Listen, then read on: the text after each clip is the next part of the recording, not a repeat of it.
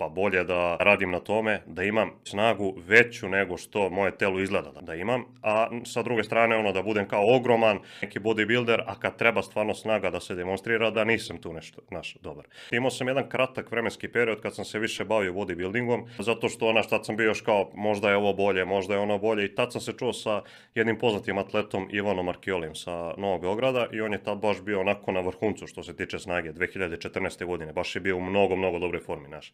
Ja sam vidio njegovu sliku slučajno i postavio sam mu bukvalno pitanje, brate, ja moguće izgledati ovako ako ne koristiš steroide? I on mi je to odgovorio, pa ako su mogli stari Grci koji su pravili statue po uzoru na tadašnje ljude da izgledaju onako kako izgledaju statue, zašto ne bi moglo, nego što je postojala hemija.